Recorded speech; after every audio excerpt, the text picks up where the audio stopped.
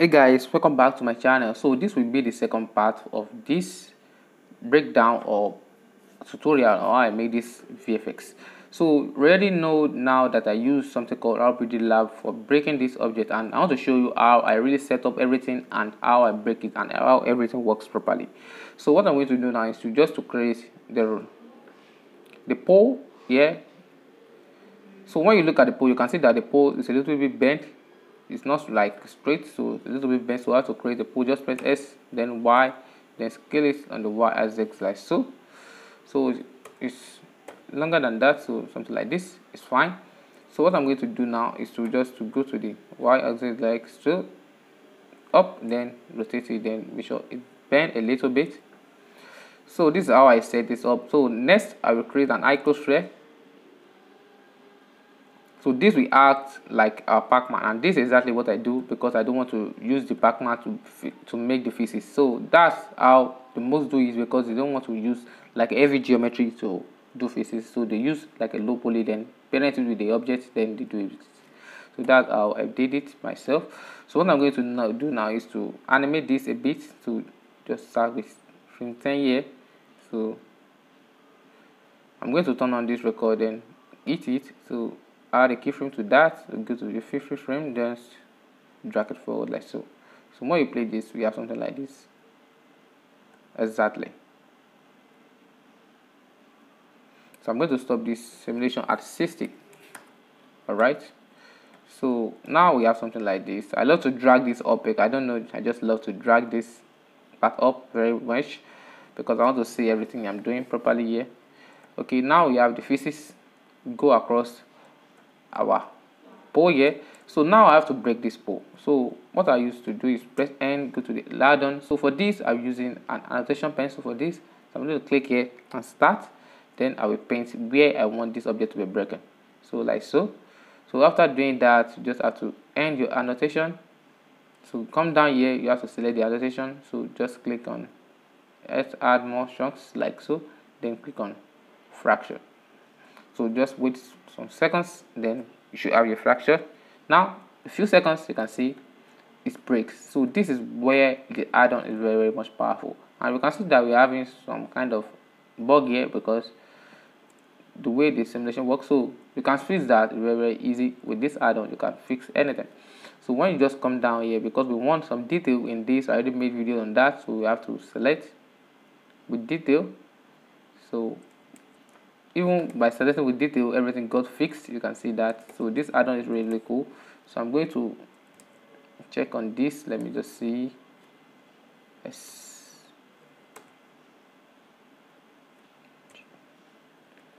So you can see how this break.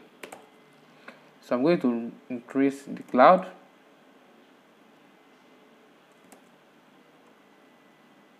so you don't want to go crazy with this thing or the displacement. You don't want to go crazy with it. So just have to apply the modifier. So before i do all that i just want to clear this annotation. End the annotation then clear. So everything is done like that. So i want to come down here then apply the modifiers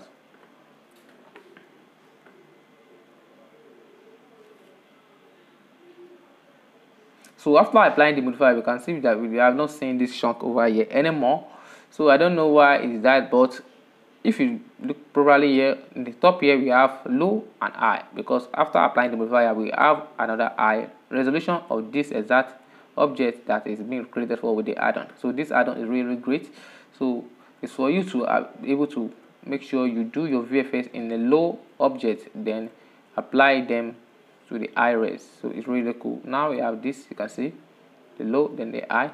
Okay so we can we have to go now. We also have to come down here to the faces. Now this where we do the faces. After apply the modifier so for this you just have to create a ground first. Let me just create a ground plane. So now we have a ground. So playing this now we still don't have anything going on here. So next what we have to do is to just click on rigid body. Now we have rigid body activate here. So let me just off it. So when you play this now you can see that this object is going along with it.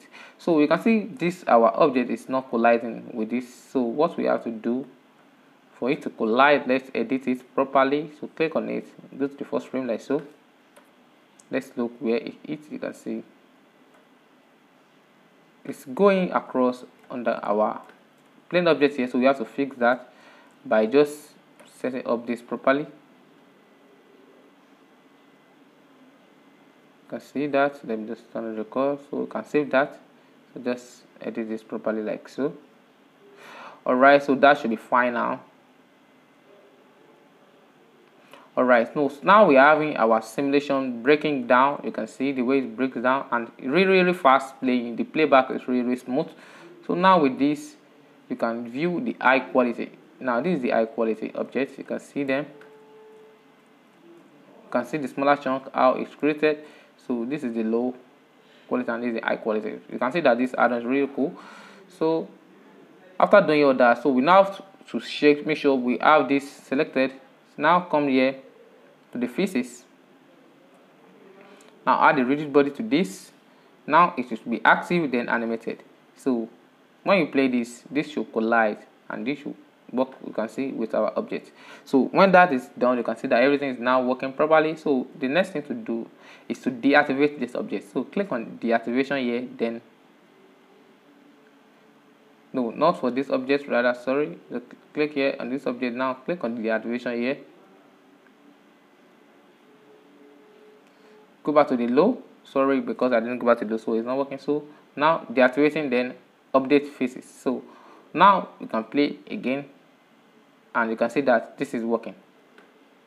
Okay now it is working but it's not like the one I do here. So you can see this one work and this four so what happens is that we don't want to break everything at once because actually what this does after eating it, it just brew everything up you can see. So that's why we have something cool here that is called the glue the constraint glue. You can see that this constraint we also have it in the blender but i don't even know how to use it. So that's it so this the constraint will create everything automatic for you. So it's very very easy. With click simple click you already make a nice looking fractal physics system. So just click on the glue add glue to this then click on update then play your simulation once again to see it. You can see that this still bleeds away. So what i will do now is to increase the glue. So i can just press let me do 1000 for this. So update then play. Now you can see how this come down alright so what we can do more for this is to select some parts and then join them together.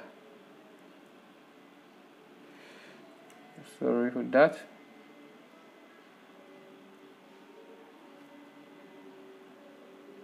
So this part I want to just select them to join them together because if you look at my physics here you can see that not all the objects are break down. You can see some objects are also joined together. So I'm going just to press Ctrl J to join them into one object. You can see that and also for this part here I have to join them together.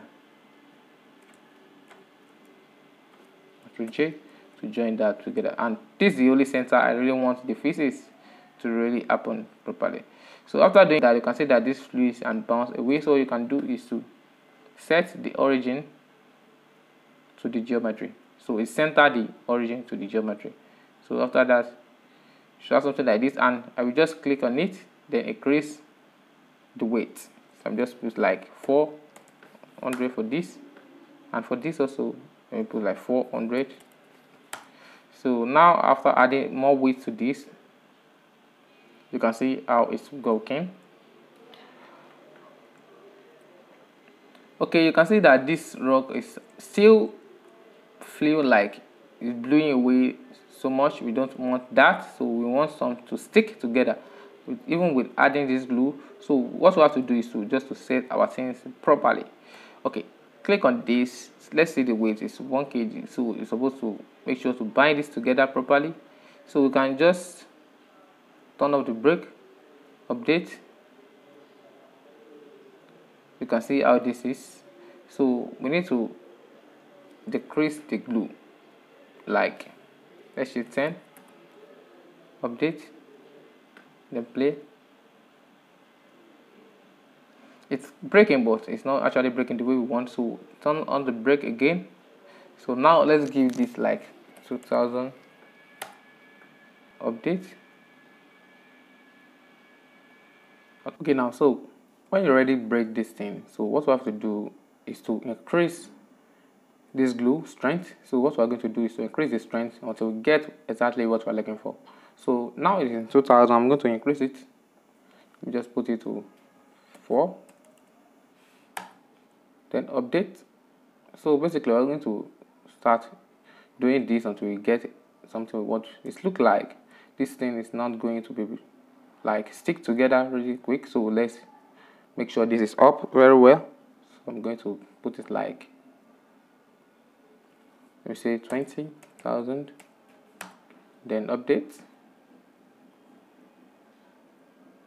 So you can see that this is start sticking you can see. The simulation everything starts sticking together I can see this. Everything starts sticking together. Alright so now you can increase let me just put it to 30,000 then update. Anytime you do any adjustment you just have to click on update okay I think this is perfect. Alright now this is how exactly the way I did it. So when you just play this right now you have something like this. Okay so what I'm going to do now is to come down here then bake this to mesh. Not bake to mesh but cache this to memory. So I'm going to put it at 60 the exact frame that this the timeline is. Then bake. Alright now everything is being cached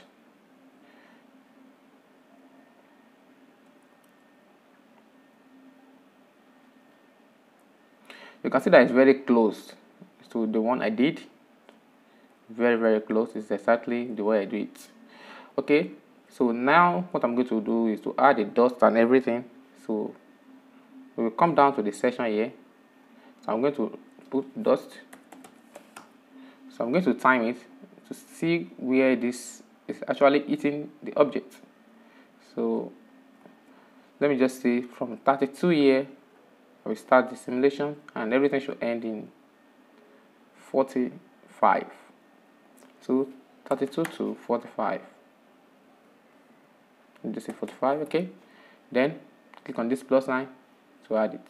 So you can see that it changed the color changed everything. That means that assign something so so let's play to see what exactly what we are getting. You can see how the dust is. You can see that it's very very very tiny this time so what we can do is to increase the scale the size then come down here and click on update. So what we do is to play it again. It's way too big. So let's put it like one then update. Alright so you can see the way it's doing now. So what I can do is to increase the normal. Let me just increase the normal to 0.4 and the size to 0.5 then update. Alright this is working fine.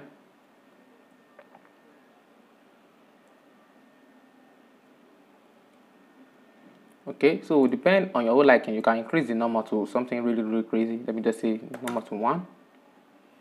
So let me play this. You can see how everything blew up can see that. So this is how to do this. So what you can do you can also check it in the iRes so let me just off this. Consider I change the color then remove the visualization back to normal. So you can always view this in iRes because this is parent to the object. It's not like it's working like the way it is but it's parent to the object. That's what happens.